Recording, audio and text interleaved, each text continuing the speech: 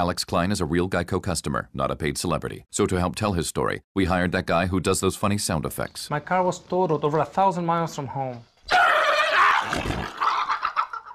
So I called Geico. And in less than 10 business hours, I got a check for a new car.